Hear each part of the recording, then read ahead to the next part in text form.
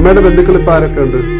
അയ്യോ എന്തിനാ അതൊന്നും എനിക്ക് അറിഞ്ഞൂടെ എന്തിനാ അതൊക്കെ പറയുന്നേ? അല്ല എന്നാലും ബന്ധത്തിൽ ബന്ധത്തിലൊക്കെ ഉണ്ട്, എല്ലാവരും ഉണ്ട്. എന്തിനാ അവരുടെ അവരുടെ പേര് പോലും വേണ്ട. എന്റെ പെണ്ണെ അവരെന്നെ കൊല്ലണമെന്ന് പറയുന്നു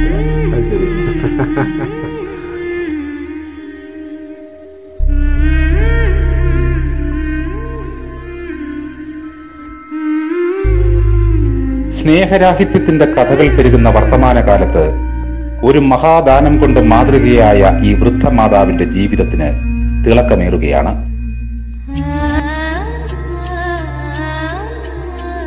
ഒരു പിടി മണ്ണിനും ഒരു തുണ്ട് ഭൂമിക്കും വേണ്ടി സഹോദരങ്ങൾ പോലും പരസ്പരം വെട്ടിമരിക്കുന്ന ഈ ആസുരകാലത്ത് ചന്ദ്രമതിയമ്മ എന്ന എഴുപത്തിയേഴുകാരി തന്റെ സന്മനസ്സുകൊണ്ട് ഒരു നാടിനെയാകെ ഞെട്ടിച്ചു കളഞ്ഞു.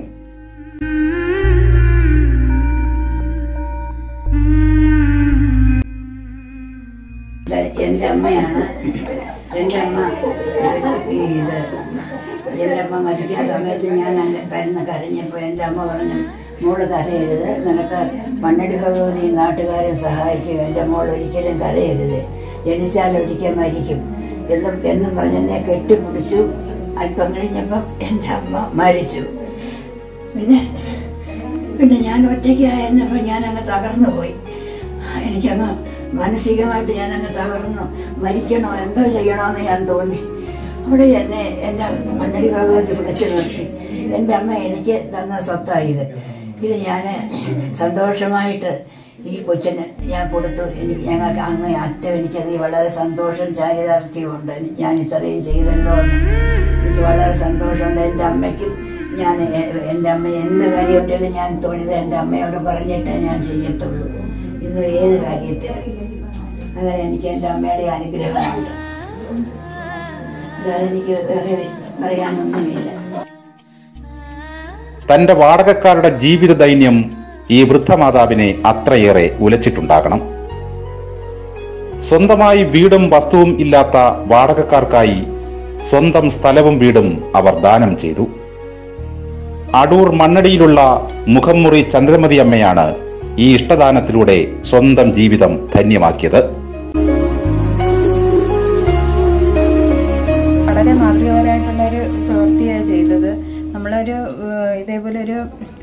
വർക്കർ ആയതുകൊണ്ട് തന്നെ വളരെ വലിയ കുറേ പ്രശ്നങ്ങൾ ഇടപെടുന്നതാണ് അത് അതുപോലെ തന്നെ ഏറ്റവും കൂടുതൽ ഇടപെടുന്നതെന്ന് വെച്ചാൽ ഈ അതിര് തർക്കങ്ങളാണ് ഒരു ശകലം അങ്ങോട്ട് പോയാലോ ഇങ്ങോട്ട് പോയാലോ ചെന്ന് നമുക്ക് ഏറ്റവും കൂടുതൽ പണി വരുന്നത്.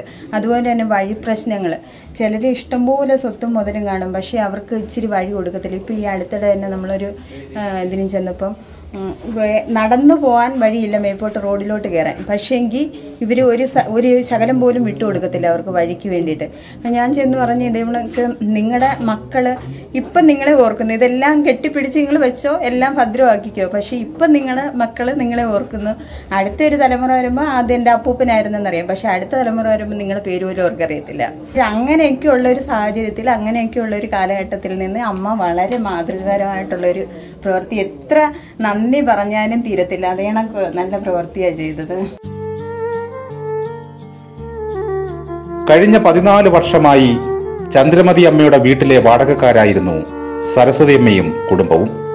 എന്നാൽ ആദ്യത്തെ ഏതാനും മാസമേ വാടക കൊടുക്കാൻ കഴിഞ്ഞിരുന്നുള്ളൂ. അതിനിടെ സരസ്വതിയുടെ ഭർത്താവ് വാഹനാപകടത്തിൽപ്പെട്ടു. ശരീരം തളർന്ന് കിടപ്പിലായി. അതോടെ വാടക കൊടുക്കാൻ നിവൃത്തിയില്ലാതായി. ചന്ദ്രമതി അമ്മ വാടക ചോദിച്ചുമില്ല. ജീവിതത്തിൽ ഒറ്റപ്പെട്ടു പോയ ചന്ദ്രമതിയമ്മയ്ക്ക് സരസ്വതിയും കൊച്ചുമകൾ പൊന്നുവും ബന്ധുക്കളായി മാറി. ഭർത്താവിന്റെ മരണത്തോടെ സരസ്വതിയും കുടുംബവും അനാഥമായി. അനാഥത്വം എന്ന നെഞ്ചുരുകുന്ന അനുഭവം നേരത്തെ അറിഞ്ഞവളായിരുന്നല്ലോ ഈ അമ്മ. തന്റെ കാലശേഷം സരസ്വതിയും പൊന്നുവും നിരാലംബരായി തെരുവിലേക്കിറങ്ങാൻ ഇടയാകരുതെന്ന് ചന്ദ്രമതി എന്ന സ്നേഹമായി തീരുമാനിച്ചു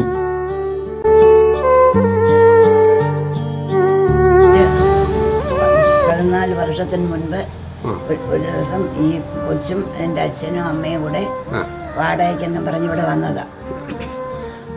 അപ്പൊ അമ്മ ഇവിടെ താമസിക്കുന്നുണ്ടായിരുന്നോ? ഞാൻ മാത്രമേ ഉള്ളൂ. എന്റെ അമ്മ മരിച്ചു പോയി കണക്കെ. അമ്മ മരിച്ചു. ഞാനിവിടെ സ്ഥിരമാ. എന്റെ അമ്മ മരിച്ചു പോയപ്പം എനിക്ക് ആരുമില്ലല്ലോ ഒരു കൂട്ട്. എന്നിങ്ങനെ ഞാൻ ഇങ്ങനെ ചിന്തിച്ച് ആലോചിച്ചും കൊണ്ടിരുന്നപ്പോഴേ എന്നോട് ഒരാൾ പറഞ്ഞു ഇങ്ങനെ ഇവരുണ്ട്. ബുദ്ധി ശല്യങ്ങളൊന്നും ഉള്ളവരല്ല കുടിയും വഴക്കും ഒന്നും ഉള്ളവരല്ല.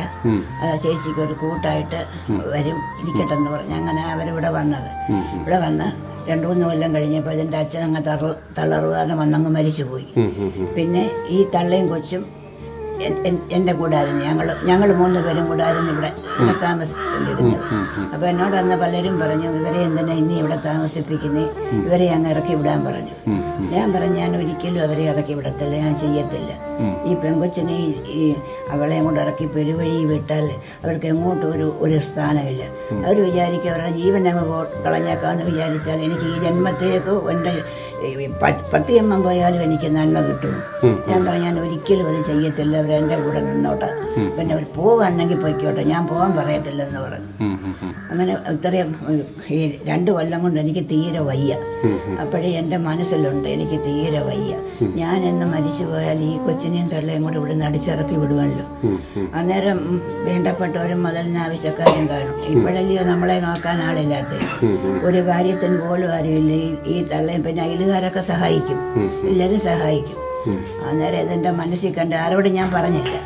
അങ്ങനെ എന്റെ മനസ്സിൽ കണ്ടുകൊണ്ടിരുന്നപ്പോൾ ഒരു ദിവസം ഞാൻ ഞങ്ങളുടെ മെമ്പർ മെമ്പറായത് എഴുതുന്നത്. അന്നേരം ഞാൻ പറഞ്ഞു ഇന്നതുപോലെ ഇത് ഈ കൊച്ചിനും തള്ളയ്ക്കും ഈ കൊച്ചിന് കൊടുക്കണം. അന്നേരം പറഞ്ഞു ചേച്ചി ഇപ്പോഴെങ്കിലും ചത്തുപോകത്തില്ല. ഞാൻ പറഞ്ഞു നമ്മുടെ കയ്യിലല്ല അതിന്റെ തീരുമാനം. എനിക്ക് തീരെ വയ്യ. അതാറും പിന്നെ പഴയ പ്രമാണവും എല്ലാം കൂടെ കൊണ്ട് തരാൻ പറഞ്ഞു. ഞാൻ അതെല്ലാം കൂടെ കൊണ്ടുവന്ന് അവിടെ കൊടുത്തു. അന്നേരം ഞാനും ഈ കൊച്ചും കൂടെ പോയി കടമനായിട്ടാണ് ഞങ്ങൾക്ക് ഇത് എഴുതുന്നത്. അവിടെ അവിടെ ചെന്നപ്പോൾ എനിക്ക് അവിടെ സ്റ്റെപ്പ് കയറാൻ വയ്യ. രണ്ട് മൂന്നാൽ സ്റ്റെപ്പ് മേലെ നിലയാ. പിന്നെ ശാസ്താംകോട്ടയിൽ പോയി അത് ഇത് എഴുതി ശരിയാക്കി പ്രമാണം രജിസ്റ്റർ ചെയ്തു. പ്രമാണം തന്നില്ല. അത് വാങ്ങിച്ചുകൊണ്ട് ഞാൻ അമ്മയുടെ ബന്ധുക്കൾ ഇപ്പൊ ആരൊക്കെ ഉണ്ട്? അയ്യോ എന്തിനാ അതൊന്നും എനിക്ക് അറിഞ്ഞൂടെ. എന്തിനാ അതൊക്കെ പറയുന്നേ? അല്ല എന്നാലും ബന്ധത്തിൽ ബന്ധത്തിലൊക്കെ എല്ലാരും ഉണ്ട്. എന്തിനാ അവരുടെ അവരുടെ പേര് പോലും വേണ്ട. എന്റെ പന്നെ അവരെന്നെ കൊല്ലണമെന്ന് പറഞ്ഞിരിക്കുക അത് അതൊന്നും വേണ്ട. അമ്മ ശരിക്കും കല്യാണം കഴിച്ചിട്ടില്ല? ഇല്ല. കല്യാണം കഴിച്ചിട്ടില്ല? ഇല്ല. അതെന്താ കല്യാണം കഴിക്കാഞ്ഞത്? ഒരുപാട് വർഷങ്ങൾ ഞാൻ വയസ്സ് കഴിഞ്ഞ കഥയൊക്കെ തന്നെ പറയുന്നേ? അല്ല എന്നാലും അതിനൊരു എന്തെങ്കിലും ഒരു കാരണമില്ലേ? ഇല്ല ഒന്നുമില്ല. എന്നാലും ഓർത്ത് പറഞ്ഞേ. ഇല്ല ഒന്നും. അപ്പൊ അമ്മയ്ക്ക് ഇപ്പൊ ഇവർ ആരെ ആരെപ്പോലാണ് ഒരു അവരെന്റെ മോളും എന്റെ കൊച്ചുമോളും. മോളും കൊച്ചുമോളുമാണ് സന്തോഷമായിട്ട് ഇങ്ങനെ സന്തോഷമായിട്ട്. അവർ നന്നായിട്ട് നോക്കുന്നുണ്ട്. അവർ അവർ അവർ എല്ലാ കാര്യങ്ങളും നോക്കുന്നു അവരിതൊന്നും അറിഞ്ഞുകൊണ്ടല്ലല്ലോ എന്നെ നോക്കിയത്. ഞാനിത് നിങ്ങൾക്ക് തരാം. നിങ്ങൾ തരുമോന്ന് അവർ ചോദിച്ചിട്ടില്ല. തരാമെന്ന് ഞാൻ പറഞ്ഞിട്ടുമില്ല. ഇത് കൊടുക്കാൻ പോകുമ്പോഴേ അവരറിയുന്നത്. ഇതിനിടയ്ക്ക് അവരെപ്പോഴെങ്കിലും പോകാൻ തീരുമാനിച്ചായിരുന്നോ? ഒരിക്കലും അവർ അവരെങ്ങോട്ടാ പോകുന്നത്? എനിക്ക് എന്റെ അമ്മാച്ചന്റെ അമ്മാവന്റെ മോൻ ഒരു ദിവസം വന്ന് ഇതുപോലെ വിളിച്ചു പറഞ്ഞു ഇറങ്ങി ഇറങ്ങിപ്പോണം ഇപ്പം ഇവിടുന്ന് ഇറങ്ങണം ഇറങ്ങണം എന്ന് പറഞ്ഞു. അന്നേരം അവൾ പറഞ്ഞു ഞാൻ എനിക്കിതുപോലെ സുഖമില്ല അവൾ കിടക്കുമായിരുന്നു ഒരു ശബ്ദം കേട്ടും കൊണ്ട് ഞാൻ ഇറങ്ങി വന്നപ്പോൾ അന്നേരം അവൾ പറഞ്ഞു അയ്യോ അണ്ണ ഞാൻ കൊച്ചിനെയും കൊണ്ടുവന്ന് സ്കൂളിൽ ചേർത്തു. പിന്നെ അതൊന്നും എനിക്കറിയണ്ട. നാളെ എന്റെ വീട് ഒഴിഞ്ഞു തരണമെന്ന് അന്നേരം ഞാൻ ഇങ്ങോട്ട് ചോദിച്ചു ഞാൻ ചോദിച്ചു എന്തുവാ? എനിക്ക് എന്റെ വീട് ഇവരെ ഇവിടുന്ന് അടിച്ചിറക്കി കളയണം. എനിക്ക് എന്റെ വീട് ഒഴിഞ്ഞു തരണം. ഞാൻ പറഞ്ഞത് ഞാൻ തീരുമാനിച്ചോളാം. ആരുടെ വീടാണെന്ന്. എന്റെ അമ്മയുടെ വകയാണ് ഇയാൾ തീരുമാനിക്കണ്ട. അതിന് ഇവിടുന്ന് എന്നെ ചീത്തയും പറഞ്ഞ് കറിയിച്ചിറങ്ങി പോയതാ നാട്ടുകാരൊക്കെ നിനക്ക് സഹായം ഉണ്ടായിട്ട് അഹങ്കാരം ആരോ എല്ലാവരോടും ഞാൻ പറഞ്ഞേക്കാം. എന്റെ പറഞ്ഞ അപ്പുറത്തൊക്കെ വേണ്ടപ്പെട്ടവരുണ്ട് അവരോടൊക്കെ ചെന്ന് പറഞ്ഞ് എന്നോട് സഹകരിക്കരുത് കയറ്റരുതെന്നൊക്കെ. അങ്ങനെ പറഞ്ഞ് തുള്ളിച്ചാടി പോയതാ എങ്ങനെയാണ് ഒരു ദിവസം ഇവിടെ ഇവിടുത്തെ കാര്യങ്ങളൊക്കെ ഇപ്പം എനിക്ക് വയ്യ തൊഴിലുറപ്പിനൊന്നും പാൻ അവൾക്ക് ആവുമ്പോൾ പോകുമായിരുന്നു ഇപ്പോഴവൾക്കും വയ്യ. പിന്നെ ഞങ്ങൾ കടം മറിച്ചും തിരിച്ചും ഒക്കെ പോകാൻ റേഷൻ അരിയുണ്ട് എനിക്കും അവൾക്കും പെൻഷനും ഉണ്ട്. അതുകൊണ്ടൊക്കെ ഞങ്ങൾ കഴിയും ആ, വേറെ വരുമാനങ്ങളൊന്നും വേറെ ഞങ്ങൾക്ക് യാതൊരു വരുമാനവും ഇല്ല. ഇപ്പൊ അമ്മയുടെ മനസ്സ് എന്താണ് പറയുന്നത്? ഇത് ചെയ്തത് എന്റെ മനസ്സിലൊന്നും പറയുന്നില്ല. യാതൊരു കാര്യവും പറയുന്നില്ല. ഞങ്ങൾ ജീവിക്കുന്നു സന്തോഷമായിട്ട്. അല്ലാതെ എന്റെ മനസ്സിൽ യാതൊരു ദുരുദ്ദേശമോ മറ്റു യാതൊരു ഉദ്ദേശമോ അങ്ങനെ ഉണ്ട് ഞാൻ ഈ ചെയ്യണ്ടായിരുന്നു എനിക്ക് ഒരു ദുരുദ്ദേശവും ഇല്ല. ഞങ്ങൾ അമ്മ മക്കളെ പോലെ. ഞാൻ എന്റെ മനസ്സിൽ പറയുന്നത് ഇത് എനിക്ക് ഏതാണ്ട് മുൻജന്മം ദൈവം തന്നതാ. അങ്ങനെ അത് മാത്രമേ എന്റെ മനസ്സിൽ പറയുന്നുള്ളൂ. തന്റെ ഉം. നാടിന്റെ ഭരദേവതയായ മണ്ണടി ഭഗവതിയുടെയും അനുഗ്രഹമാണ് ഈ ജീവിതമെന്ന് വിശ്വസിക്കാനാണ് ചന്ദ്രമതി അമ്മയ്ക്ക് ഇഷ്ടം. ഒറ്റപ്പെട്ടുപോയ തന്റെ ജീവിതത്തിന് ഒരു നിയോഗം പോലെ വെളിച്ചമായത് വാടകക്കാരായി വന്നവരാണെന്ന് ചന്ദ്രമതി അമ്മ വിശ്വസിക്കുന്നു. നാടിന്റെ മോചനത്തിനായി പടപൊരുതിയ ധീരദേശാഭിമാനി വേലുത്തമ്പി തലവയുടെ ചോര വീണ മണ്ണാണ് മണ്ണടി. ആ മണ്ണിൽ നിന്നുകൊണ്ടാണ് ധീരോദാത്തമായ ഒരു തീരുമാനം കൊണ്ട് ചന്ദ്രമതിയമ്മ നാടിന്റെ ഹൃദയം കവർന്നത്. നമ്മുടെ മുന്നടി P S S Vishwakarma service സൊസൈറ്റിയുടെ നൂറ്റിയെട്ടാം നമ്പർ ശാഖ മണ്ണടിയിൽ പ്രവർത്തിച്ചു വരുന്നു. അതിലെ ഒരു അംഗമാണ് ഇവിടുത്തെ സരസ്വതി അമ്മയും മക്കളും. ഒരു ആശ്രിതം എന്ന നിലയിൽ അവരെ ടേക്ക് ഓവർ ചെയ്ത് വളരെ സന്തോഷത്തോടെ വർഷങ്ങളായിട്ട് സ്വന്തം കുഞ്ഞിനെ പോലെയും കൊച്ചുമകളെ പോലെയും സംരക്ഷിച്ചു വരുന്ന ഒരു അമ്മയാണ് ചന്ദ്രമതി അമ്മ. അപ്പം അവരുടെ നല്ലൊരു മനസ്സിലും ഇത്രയും വാർദ്ധക്യത്തിലും ഇനിയൊരു ആശ്രയം അവരിൽ നിന്ന് തന്നെ. എന്ന് വെച്ച് കഴിഞ്ഞാൽ നമുക്ക് ഒരു ആശ്രയമായിട്ട് വന്നവരിൽ നിന്ന് ഒരു ആശ്രയം അവർക്ക് നൽകുന്ന രീതിയിൽ ഉള്ള സർവസ്വത്തും അവരുടെ പേരിൽ ആരുടെയും ഒരു വിധത്തിലുള്ള സപ്പോർട്ടും കാര്യങ്ങളും ഇല്ലാതെ സ്വമേധ സ്വമേധയാ നൽകി ഒരു മാതൃകയാകുമായിരുന്നു. ഒരു മാതൃത്വത്തിന്റെ ഒരു ഒരു പരമോന്നത ഒരു പ്രതീകമായിട്ട് നമ്മുടെ ചന്ദ്രപതി അമ്മ മാറി. അപ്പോൾ അതുകൊണ്ട് ഞങ്ങളുടെ വിശ്വകർമ്മ സർവീസ് സൊസൈറ്റി നൂറ്റിയെട്ട് നമ്പർ ശാഖ മണ്ണടി എല്ലാവിധ ഭാവങ്ങളും നേർന്നുകൊണ്ട് അവരെ ആദരിക്കുക എന്നുള്ളൊരു ചടങ്ങാണ് ഇന്ന് നടത്തുന്നത്.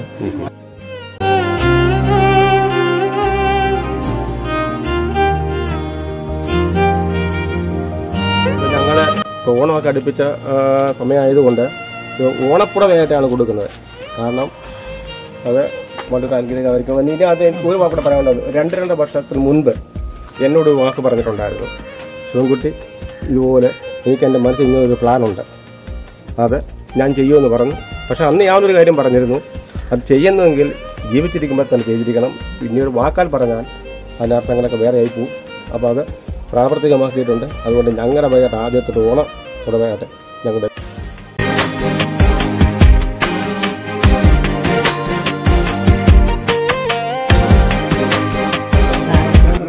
ആദരിച്ചു. എനിക്ക് വളരെ സന്തോഷമുണ്ട്. ഇത്രയും എന്റെ നാട്ടുകാരെന്നോട് സഹകരിച്ച് ചെയ്തതിൽ എനിക്ക് അങ്ങേയറ്റം സന്തോഷവും സംതൃപ്തിയുണ്ട്. ഞങ്ങളുടെ ഒരു കൂട്ടത്തിൽ ഒരു കുടുംബാംഗമായി തന്നെ പ്രവർത്തിക്കുന്ന സരസ്വതി ചേച്ചിക്ക് ഇത്രയും മഹത്തായ ഒരു കാര്യം നേടിക്കൊടുത്ത ഈ അമ്മയോട് ഞങ്ങൾക്ക് ഈ ഒരു സൽപ്രവൃത്തി പ്രതിരോധ ചേച്ചി ചെയ്യുന്നതിനോടൊപ്പം തുടക്കം മുതലേ ഞാൻ ഉണ്ടായിരുന്നു യാതൊരു പ്രതിഫലേച്ഛയോ അല്ലെങ്കിൽ മറ്റൊന്നും പ്രതീക്ഷിച്ചുകൊണ്ടല്ല ഈ ഒരു സൽപ്രവർത്തനം ചെയ്തത്. ഇത് ഞാൻ മനസ്സിലാക്കുന്നത് ചന്ദ്രബാബു ചേച്ചിയും പൊന്നും തമ്മിൽ വളരെ വർഷങ്ങളായിട്ടുള്ള ഒരു മാനസിക ബന്ധമുണ്ട്. ചെറിയ പ്രായത്തിൽ ആ കുട്ടി വന്ന് ചേച്ചിയോടൊപ്പം കൂടിയതാണ്. ചേച്ചിയെ സംബന്ധിച്ചിടത്തോളം ചേച്ചിയോടൊപ്പം നിന്ന് സംരക്ഷിക്കുവാൻ ഇന്ന് ഏറ്റവും അടുപ്പും സാമീപ്യവും പുലർത്തുന്നത് പൊന്നുമാണ് അപ്പോൾ ആ നിലയിൽ ഇത് ചേച്ചിയുടെ ശിഷ്ടകാലം ഇത് പൊന്നു നിന്ന് കിട്ടണം എന്നുള്ള ഒരു ആഗ്രഹത്തോടും പ്രതീക്ഷയോടും ചെയ്തൊരു സൽപ്രവൃത്തിയാണ് പക്ഷേ മാതൃകാപരമായിട്ടുള്ള ഒരു പുണ്യപ്രവൃത്തി എന്ന് തന്നെ ഇതിനെ പറയാൻ സാധിക്കും. കാരണം എന്ന് വെച്ച് കഴിഞ്ഞാൽ ഇപ്പോഴത്തെ ഈ കാലഘട്ടത്തിൽ നമുക്ക് സ്വത്തിന് വേണ്ടി അടിയുണ്ടാകുന്ന ഈ ഒരു കാലഘട്ടത്തിൽ സ്വന്തം കിടപ്പാടം കൊടുക്കുക എന്നുള്ള ഒരു മഹത് പുണ്യ പുണ്യപ്രവൃത്തി എന്ന് തന്നെ ഇതിനെ കരുതാം. നമുക്ക്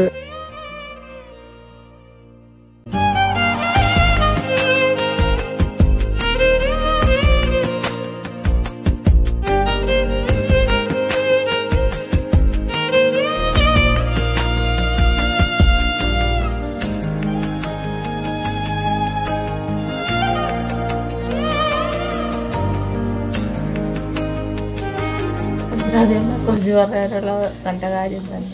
പിന്നെ പിന്നെ എന്റെ മോൾക്ക് ഇത് കൊടുത്ത് കൊടുക്കുമെന്നുള്ള ഞാൻ സ്വപ്നത്തിൽ പോലും വിചാരിച്ച കാര്യമല്ല. മോളെ വിളിച്ചോണ്ട് എഴുതി കഴിഞ്ഞപ്പോഴാ. എഴുതി കഴിഞ്ഞു. ഇവിടെ വന്ന് പറയുമ്പോഴാണ് ഞാൻ അറിയുന്നത് തന്നെ. ഭയങ്കര സന്തോഷം. അമ്മൂമ്മയ്ക്ക് കോടി കോടി പുണ്യം പറഞ്ഞേക്കോ ഇവിടെ വരാനുള്ള സാഹചര്യം എങ്ങനെയായിരുന്നു? ഞങ്ങൾ താമസിക്കാനായിട്ട് ഇവിടെ വാടകയ്ക്ക് വന്നതാ.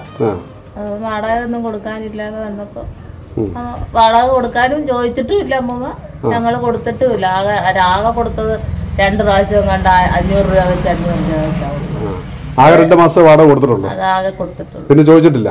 പിന്നെ ചോദിച്ചിട്ടുമില്ല കൊടുക്കാനില്ലായിരുന്നു.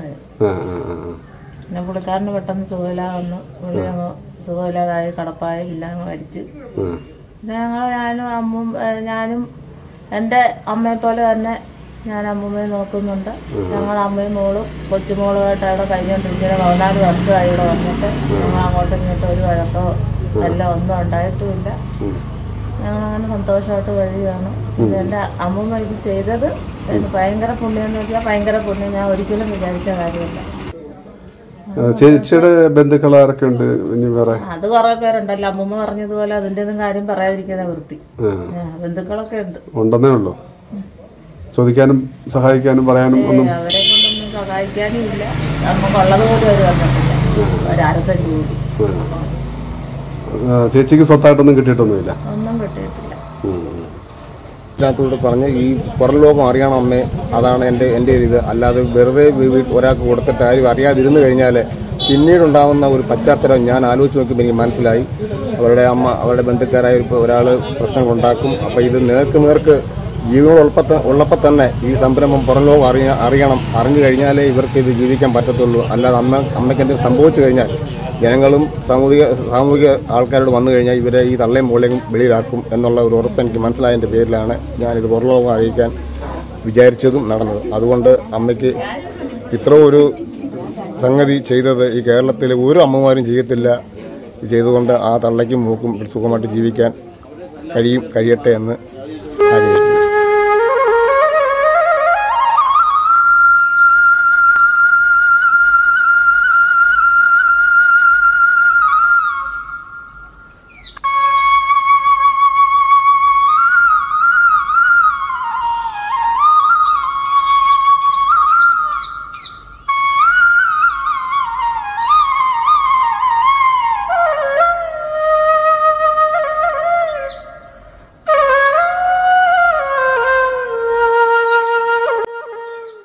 അന്യജീവനുതകി സ്വജീവിതം ധന്യമാക്കും അമലേ വിവേകികൾ എന്ന കുമാരനാശാന്റെ വചനങ്ങൾ തന്റെ എളിയ ജീവിതത്തിലൂടെ സ്വാർത്ഥകമാക്കുകയാണ് ചന്ദ്രമതിയമ്മ എന്ന ഈ വയോധിക. അതെ ചിലർ അങ്ങനെയാണ്. ചില നേരങ്ങളിൽ എടുക്കുന്ന തീരുമാനങ്ങളിലൂടെ അവർ നമ്മെ വിസ്മയിപ്പിക്കും. ചന്ദ്രമതി അമ്മയും ഒരു വിസ്മയമാണ്. പ്രായം കടന്ന വിസ്മയം.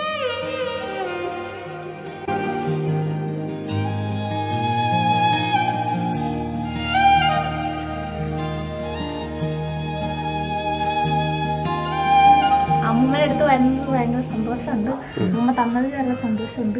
പിന്നെ എന്താ പറയുക ഇപ്പൊ കാണുന്ന പോലല്ല നേരത്തെ എപ്പോഴോ കണ്ട പോലൊക്കെ തോന്നുന്നേ. നേരത്തെ എന്ന് പറഞ്ഞാൽ? നേരത്തെ എപ്പോഴെങ്കിലും ഒക്കെ മുൻചമ്പത്തിലൊക്കെ കണ്ട പോലെ പരിചയമുണ്ട്. മൂന്ന് വയസ്സിൽ വന്നേ ഞങ്ങൾ. മോളുടെ മൂന്നാമത്തെ വയസ്സ് വന്നാണ്. പതിനെട്ട് വയസ്സായി. അപ്പൊ എടുത്തോണ്ട് എടുത്തോണ്ട് വളർത്തിയിട്ടുണ്ട്. എടുത്ത് വളർത്തിയാണ്. അങ്ങനെയൊക്കെ പറഞ്ഞിട്ടുണ്ട് എന്നെയും ഭയങ്കര ഇഷ്ടമാണ് എനിക്കും ഭയങ്കര ഇഷ്ടമാണ്